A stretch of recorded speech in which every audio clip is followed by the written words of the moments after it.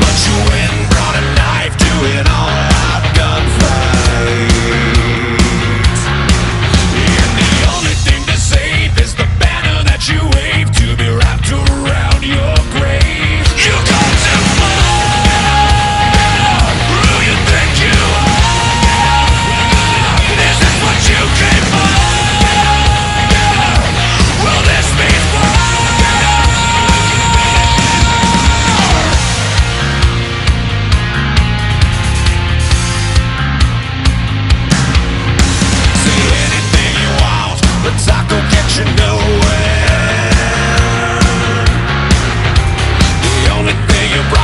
psychological